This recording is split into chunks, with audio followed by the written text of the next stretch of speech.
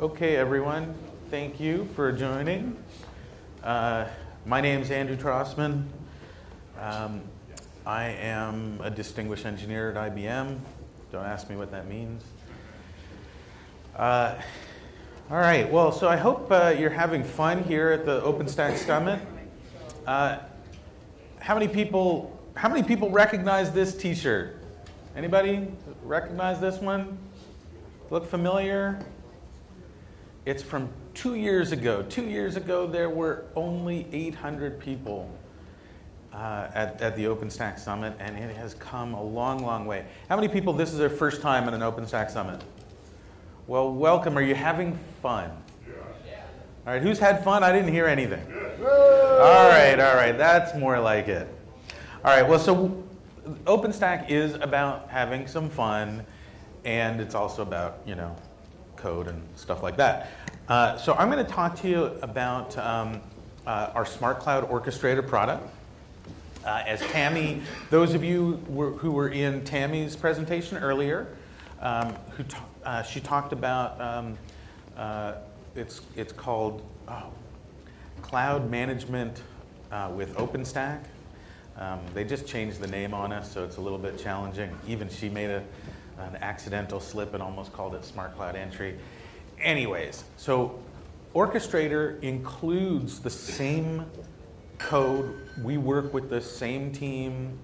All the stuff that Tammy's team uh, develops is included in Smart Cloud Orchestrator.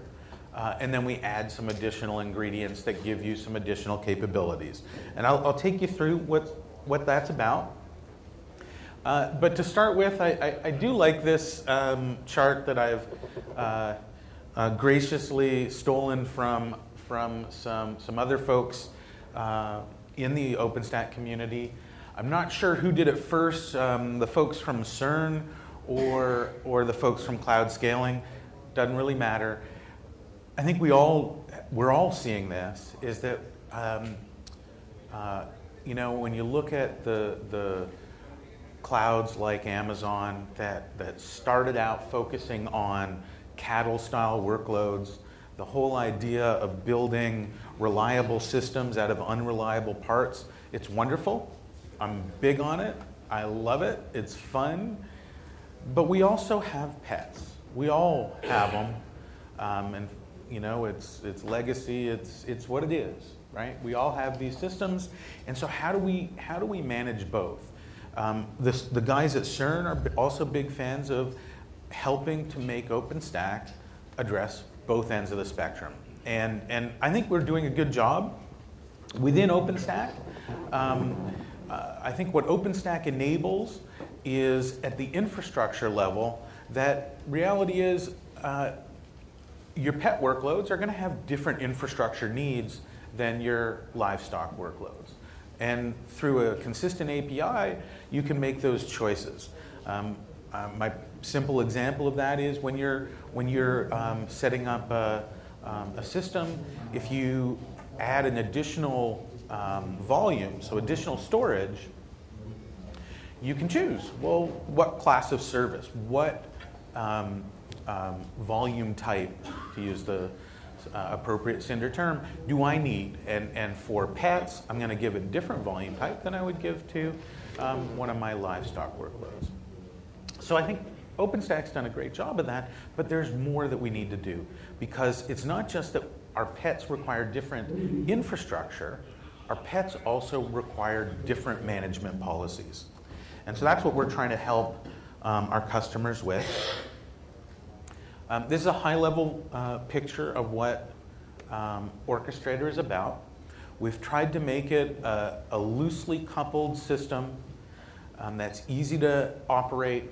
Um, at the bottom, uh, no surprise, a lot of what Tammy showed you, it's an OpenStack implementation, um, OpenStack infrastructure. We have a variety of backends supported, um, ranging from you know uh, uh, VMware, KVM, et cetera, um, the Power and, and Z platforms Tammy mentioned.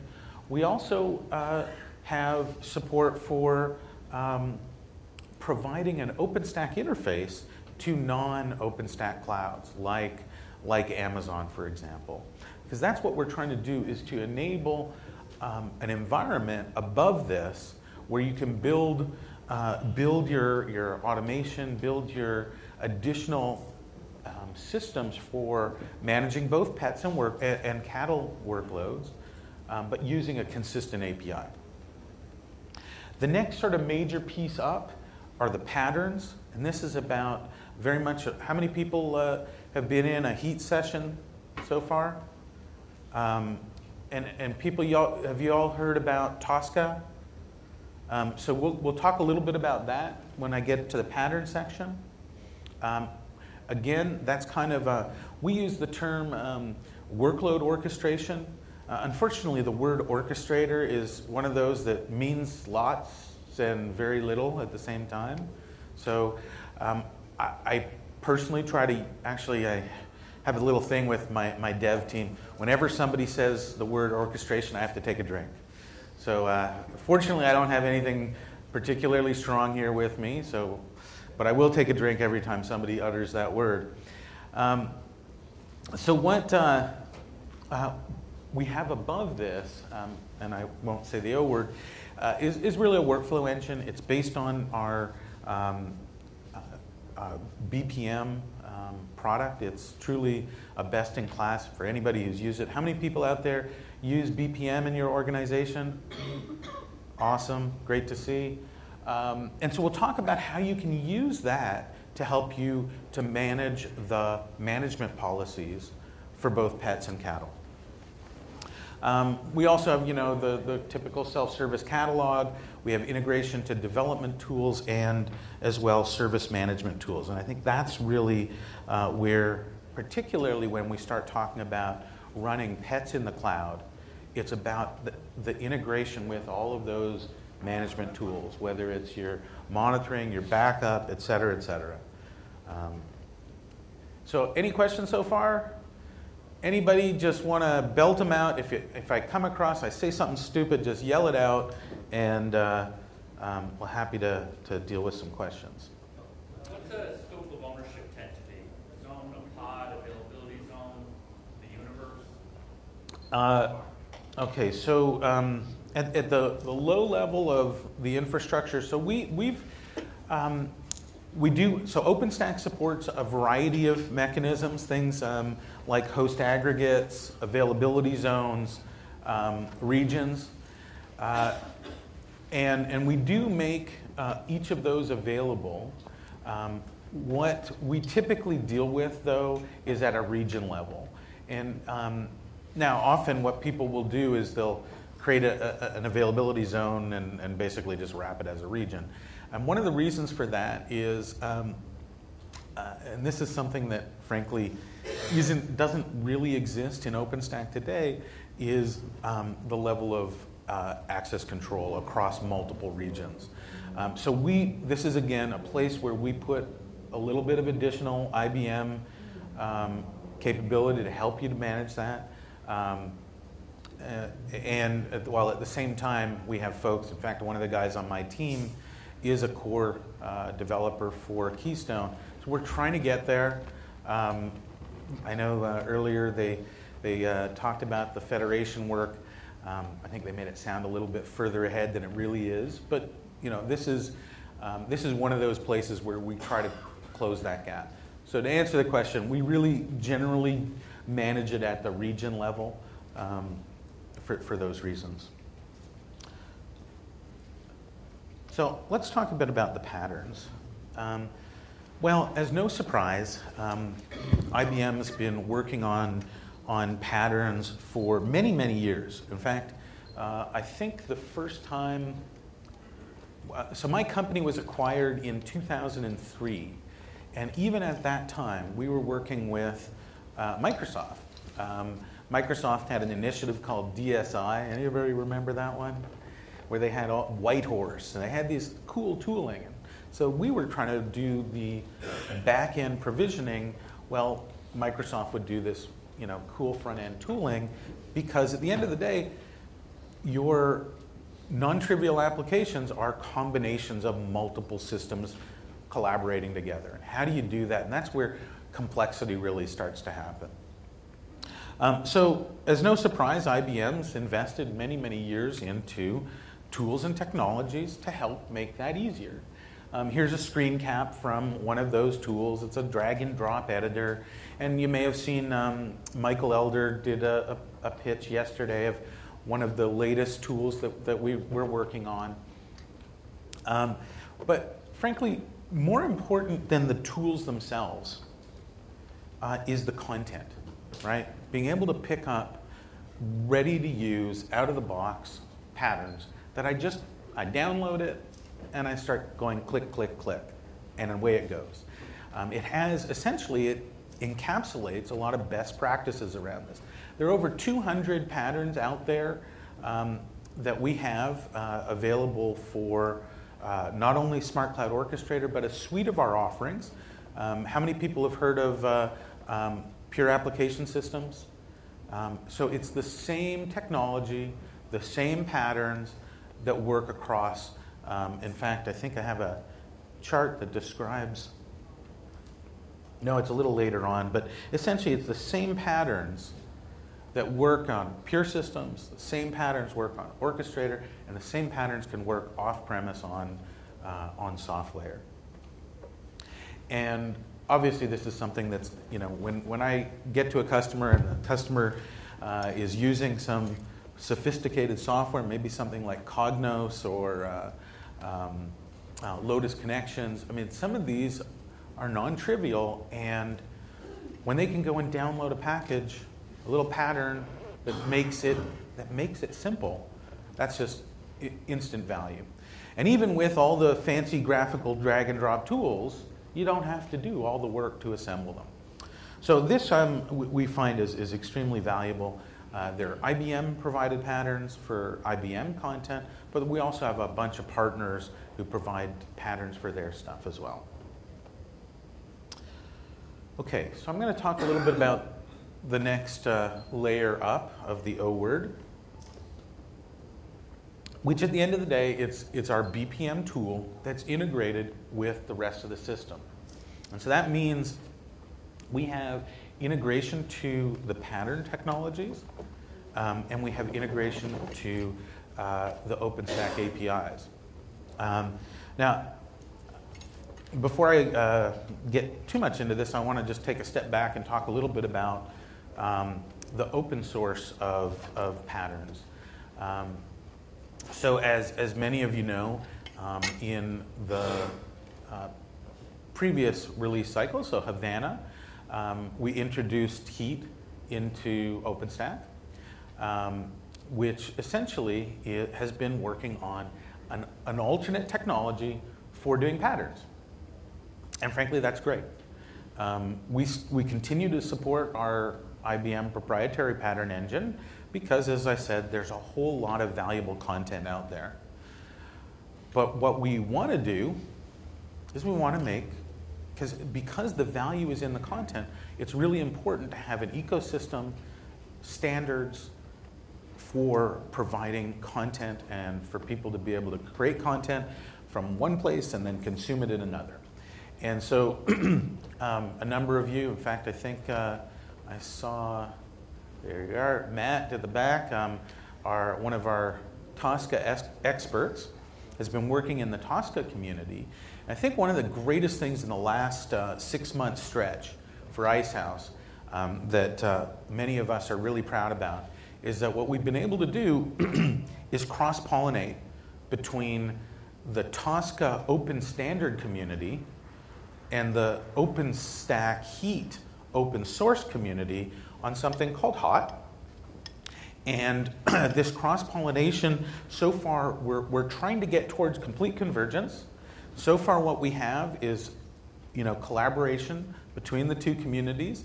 And um, we've, we've contributed into Icehouse an import tool. So you can import uh, Tosca um, patterns and pull them right into um, what's called HOT, um, heat orchestration templates. Oh, I said, oh.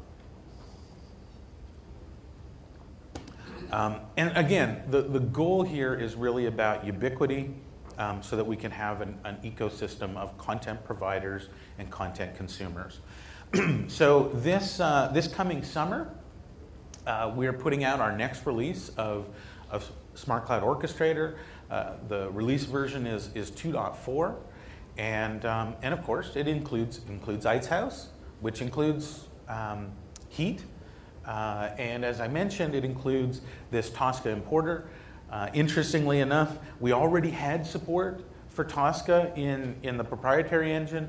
But again, this just shows how um, you know, we're, we're really, it's all about the content, but we're um, absolutely embracing the, the open standards and the open source implementations.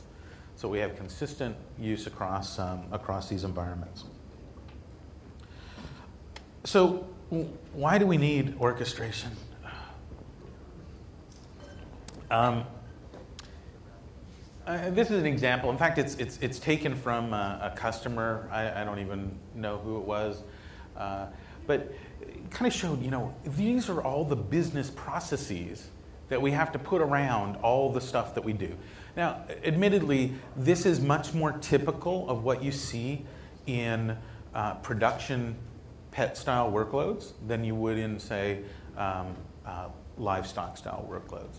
But like I said, we all have to deal with these. So um, one of the things that we've tried to enable, in fact, what we found is um, that there, there, are kind of two classes of um, why I need to do uh, workflow or runbook style automation.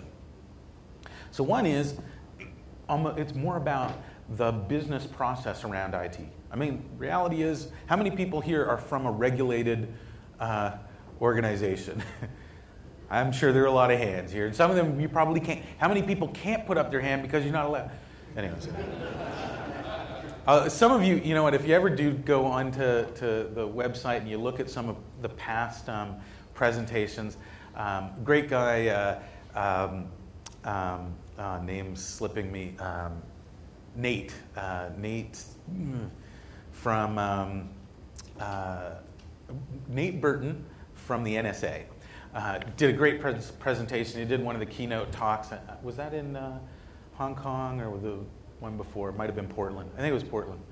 Um, anyway, so uh, uh, he wouldn't be able to put up his hand. But I think you understand the, the, the point. And, and when it comes to um, to that, it's, it's not just the, the business processes that you need to automate, and of course, um, audit against. Uh, but it's also, uh, you know what, we have organizations, we have people in place that use uh, monitoring tools, and they have NOCs, and they have processes for dealing with problems. They have trouble ticket desks, they have um, you know, backup and restore processes and technologies. We have to integrate our stuff with that. Um, and OpenStack does a great job um, for uh, you know, giving us ubiquitous programmatic access to lots of infrastructure, but it doesn't help me with this problem. And that's the kind of thing that we use workflow automation to do. One of the things that we're working um, on is making it uh, easy so that we can decouple your heat template that defines here's the thing that I need to stand up from the management policy or the, the, the, integration that you need to do because when I deploy it in a test environment, I don't need the same rigor and management integration as I do when I deploy into production. And we're trying to make those uh, workflows as reusable as possible. Um, I, I didn't really mention much about this, but one of the things that we have, aside from downloading patterns as reusable content, in our marketplace, we have reusable workflows. Not just the workflows, but one of the things, um, the terminology we use are, are called toolkits. And these are little integration modules that know how to talk to various technologies. And we have things ranging from you know, talking to uh, network and storage devices um, uh, to uh, um, management tools, um, to development tools like Urban Code. How many people have heard of Urban Code Deploy? Um, excellent tool for, for operating a DevOps style um, uh, discipline. Um, and, and so we have a lot of these that you can go and download um, and then use uh, out of the box. Um, and, and that, of course, is also a, a, a, really great way for our development teams to release additional functionality outside of the more typical, uh, you know, um, long release cycles. Uh, and so here is a screen cap of um, the, the workloads, uh, the workload um, automation, and um, so this is a screen cap from the tool. Uh, so this is a, the BPM tool that I mentioned that's integrated. Um, and over here on the, the left-hand side, you can see that palette of, of toolkits, which again, you know, those things are, you can download them, add them into your, your, uh, your palette as you need them. Um, and then uh, you can graphically create these things. Now, uh, these workflows, um, in fact, uh, you know, a lot of times you can just go and um, customize those workflows. So if you downloaded one, you could come in and in this bottom pane, you can make some little customizations. Many of them allow you to, to script them right there. Um, and, uh, but I also want to point out, for those of you aren't familiar with the tool, is it also lets you uh, easily build user interfaces. Um, also, drag and drop, really simple tooling, uh, because sometimes uh, these, these business processes require interaction with humans. I know we try to avoid it, and I don't like humans because I'm a techie nerd, just like many of you, but we still have to deal with humans, even if we don't like them. Um, and so this is a great way to, you know, very quickly string together um, some, some interfaces um, that instantly appear within your environment. And so I'll show you, uh, um, so here's the example where you know, so you've gone off, you've, you've got a pattern, maybe you downloaded it, maybe you created a new one specifically to your, your application, um, and then you can uh, present this in our service catalog, uh, which is kind of a self-service interface um, that you can make available to your users. You can control um, which users see what kinds of capabilities that they're made available to. Um, very easy to go and create service catalogs like this. And behind each one of these things is a BPM workflow. And usually what happens is the first part of that workflow is going to be a little bit of UI that is specific. Maybe I got to ca capture a little bit of information from the user before we go off and do it. And so here's an example where you click on that and all of a sudden, um, you know, that same uh, user interface that I just showed you how you did it using the tool appears um, and, and, asks a few questions, you know, uh, what port do you want to run this thing on and so on and so forth. Um, all right. Uh, just going to um, take a moment to, anybody want to see a, a demonstration? All right, let's, let's have a look. So this is available on you, uh, YouTube. Um,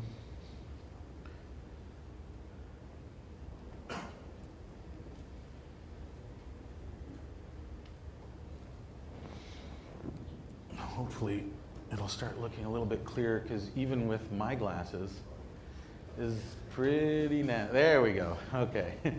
Um, so uh, we're, we're, just going to take a, an example where we're trying to um, associate management policies with a, a, pet style workload and, and in this particular pet we're to we're, we're using a db2 database um, and, and, so there's a, you know, simple, just enter a little bit of information, what it is that you're trying to do.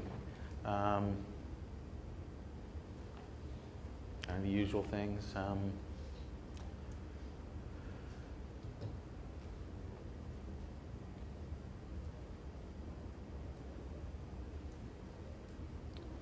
uh, and it's a bit of a wizard thing, so it, you know, you, here we're going to pick uh, that we want to use DB2. Um, and, uh, And now it's going to give us, um, uh, you know, what, uh, what flavor, of course, OpenStack flavor. Um, but what we're going to have next is um, the different management things, literally as checkboxes. Do you want monitoring included in this? Uh, do you want backup and restore included in this? Do you want BigFix security um, compliance? Um, and you select the ones you want, and instantly they're available to you.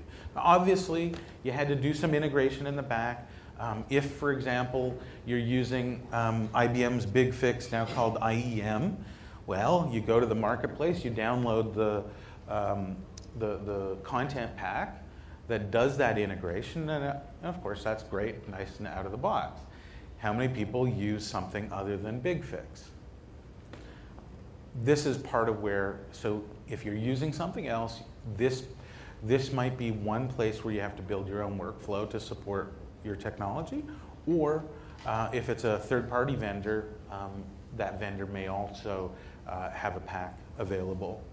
Um, and well, so the rest of this uh, goes through, you know, um, entering the, the details of IP addresses and things like that. But essentially, what happens behind the scenes is this, while OpenStack is doing the basic deployment of that DB2 database and you know associating the uh, uh, um, the storage volume and all the all that good stuff that OpenStack does. Behind the scenes, we're going and making sure that we're integrating with your monitoring, integrating with your backup and restore uh, systems and processes, so that all those systems that are in place for the rest of your pet workloads continue to work exactly as, as they have. And, well, this is, uh, I, I, hopefully this is a, looks pretty simple, um, as a simple way to expose it. We're trying to make this easier um, each, with each release of our product. Um, in fact, uh, uh, one of the ones that um, we're trying to do is um, make this a, a, available to, uh, um, you know, all through uh, the standard OpenStack Heat APIs. So behind the scenes, you can make that available to your users. As far as your users know, they have full unfettered access to OpenStack compatible clouds, but you still have the control to be able to go and apply the, the management policies that you need to by, by region by region. You know, you may have a region that you define as being for, um, for different purposes. In fact, I was talking with um, uh, some of the guys um, from CERN. What they'll, one of the management policies that they do is uh, whenever they deploy a Windows VM, it goes onto a Hyper-V hypervisor. Course, there are licensing reasons why that is useful. Whereas on the Linux side, that's going to end up on a KVM host, again, for licensing purposes. Um, any questions about this? Uh, please. Absolutely. So APIs, um, uh, let me just go back to chartware um, for a moment.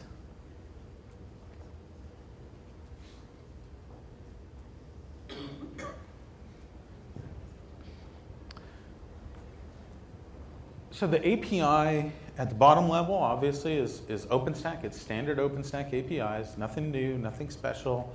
Um, the patterns, I mentioned that we have a proprietary pattern engine, and yeah, that has, it's a proprietary API to that, but it, we do have it available.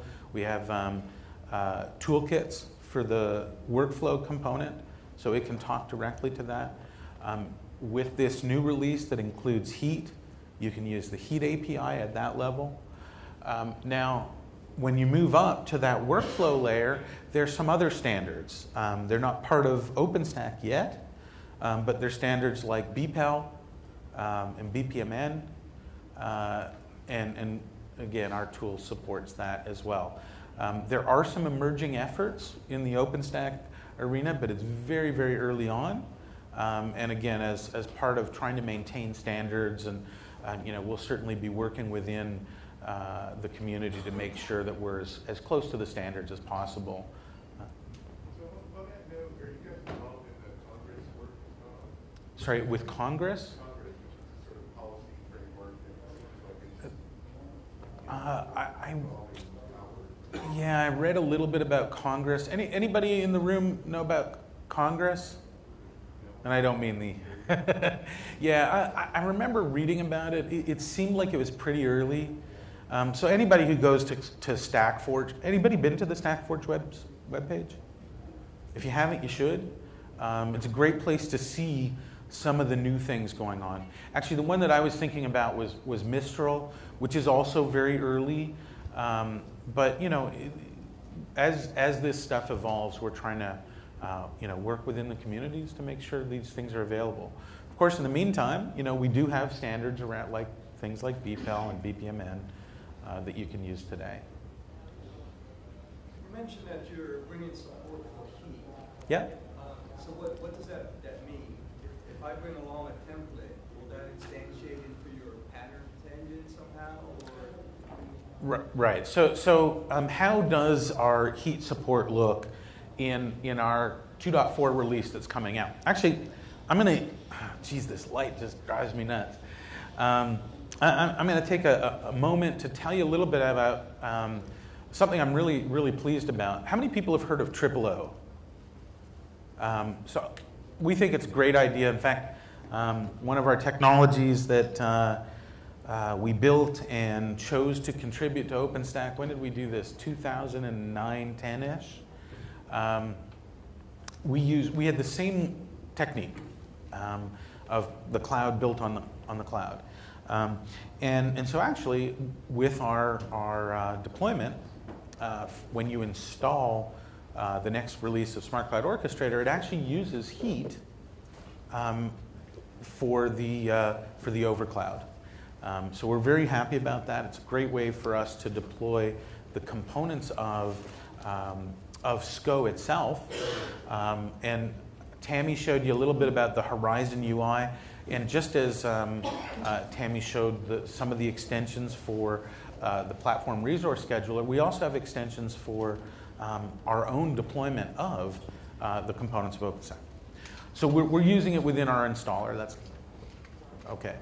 Um, in terms of the next layer up, it really is, it's kind of a peer to this. So right now, if you're, they're deployed separately. So if you have um, a, a, pattern for the um, proprietary engine, it goes through the proprietary engine. If you have a pattern for, um, for heat, it goes through heat.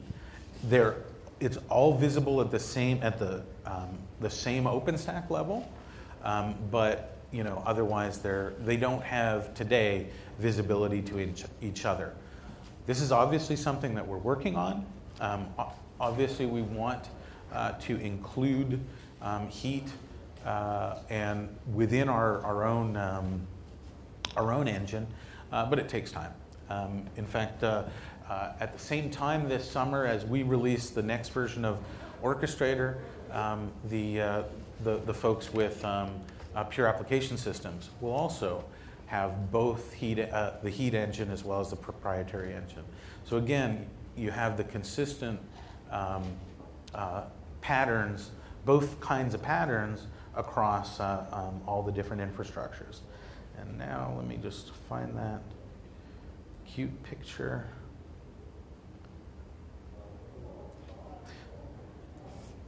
So when you think about going on premise, off premise, pure systems, orchestrator, oh, I have to drink. That's why I usually say SCO. Um, but so SCO can integrate across these environments. In fact, that, that's been a, a really valuable um, uh, solution for a lot of our Pure Systems customers. Um, and, and again, I think that it's that consistency, whether it's the proprietary patterns or the, the new uh, heat patterns, um, whether you're using Tosca and converting them into hot, or uh, again, we're trying to make it available on all these platforms. Will uh, SmartCloud Orchestrator eventually be over uh, Pure App? Actually, that there there are a number of. Um, in fact, if you go to the, there is a YouTube video about that integration. Um, that's a common one. Uh, one of the ones, um, uh, how many people went to the, the Pulse, IBM's Pulse? Um, so it's a conference we had in Vegas uh, uh, earlier in the year. It would have been late February. Um, uh, actually, I think one of our um, one of our customers, the scenario they they described was they wanted to use they were using Pure Systems for their in-house production, um, but they were using um, using uh, uh, um, software uh, for development. And so they would use Orchestrator to manage the um, on off premise uh, coordination. There are a number of other uh, variations and, and, and scenarios that people come up with. Um, uh, and, and so some of that, again, the integration packages um, are available on the, on the marketplace you can download and use. Um, any other questions? The OpenStack you're using, is it, is it a fork or? The OpenStack we're using, is it a fork is the question. The answer is no. Uh, it is, as, as Tammy told you, it's, it's um, standard OpenStack. Uh, the, the coming release is, is Icehouse. What's available today, um, uh, Smart Cloud Orchestrate version 2.3 is um, uh, with Grizzly. Um, now, how many people have used OpenStack with VMware? Grizzly, not very useful. And so for that, we, we have a proprietary driver that we used um, because, frankly, the communities wasn't good enough.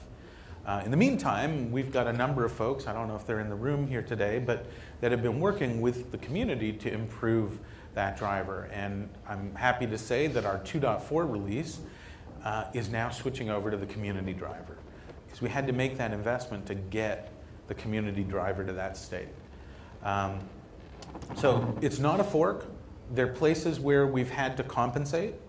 Um, like I said in the past with the, the VMware driver, um, we have a layer above that helps put some um, uh, um, uh, access control when you, when you start dealing with multiple regions. Because unfortunately, what's available today in the community really isn't quite there. Um, but again, we're working within the community on the one hand, on the other hand, um, we're making those additional capabilities.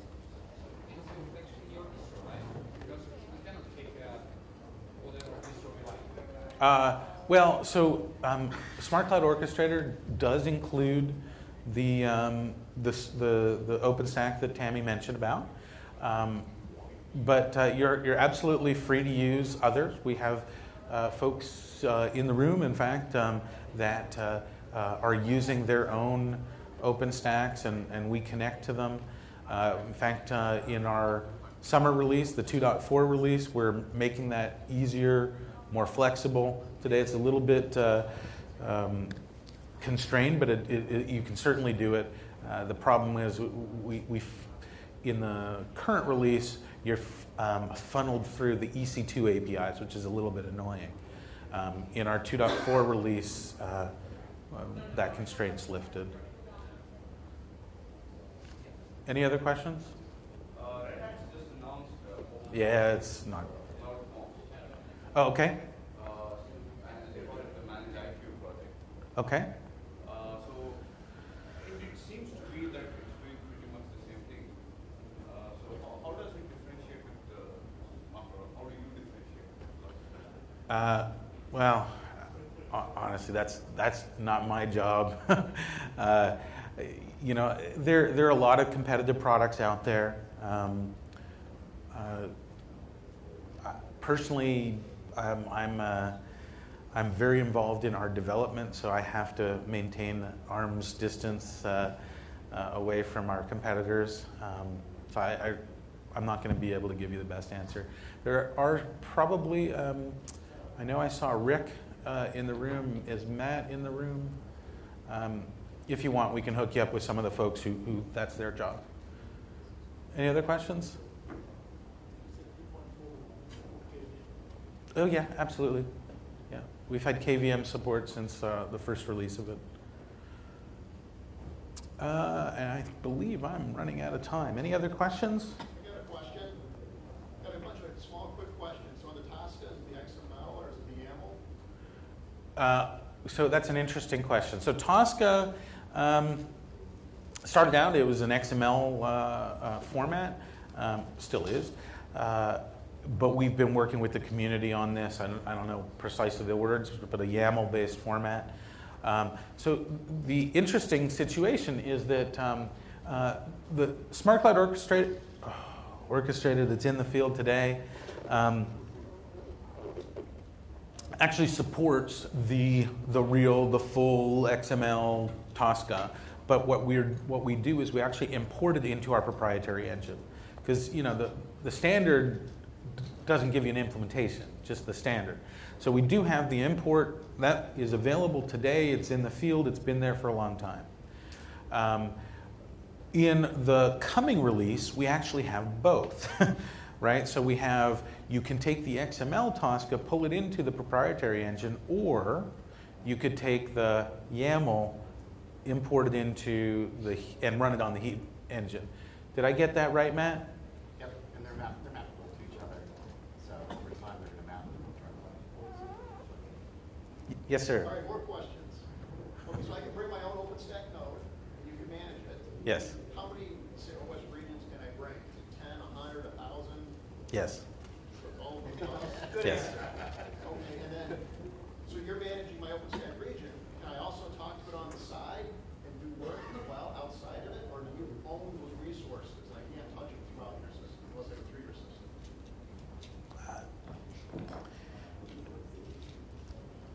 I, yeah, I mean, this is this is one of those. You know, can can you go around? Can you circumvent yourself? Yes, of course you can. Um, uh, the, the, now, and this is actually one of the things.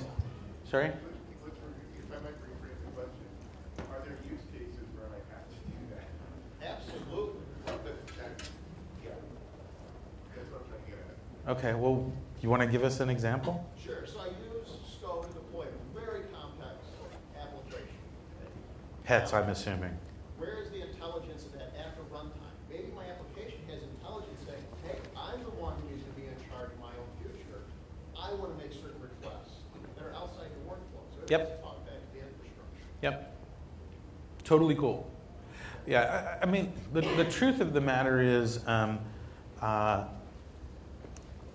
I, I, I think um, systems that were designed for the cloud, cattle style workloads, um, they were designed to exploit the APIs, right? Um, and those work really well. They don't need all the help and the hand holding that the pets do. And I think where a lot of this stuff really helps you to do is to run those pet workloads within the same environment. Um,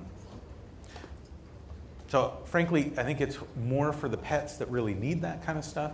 Now, having said that, one of the things that um, uh, we, we've been seeing um, from a number of our customers is that uh, desire to basically hook into the APIs so that when somebody calls, just as an example, somebody goes and deploys a, uh, a heat template. Um, we want to be able to allow him unfettered access to that API, goes in and deploys his heat template, but we can trigger a workflow behind the scenes that says, wait a second, uh, we're going to go and look at additional metadata, maybe, um, and make decisions. Um, maybe put up a few guardrails. Um, in fact, uh, uh, we have some folks that uh, like to apply logic to determine what region to deploy things, not just the um, authorization, but in fact the decision of when and where things should go. And that gives you an opportunity to do that. Um, some, and of course, depending on where you go, you may have different uh, guardrails. Um, again, this is every customer seems to be going at this a little bit differently, but that seems to be a pretty common pattern um, that we've been seeing. Anybody else?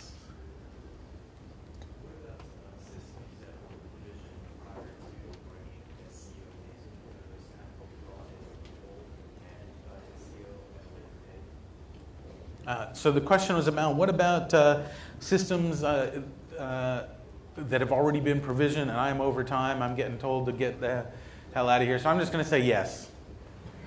And thank you very much.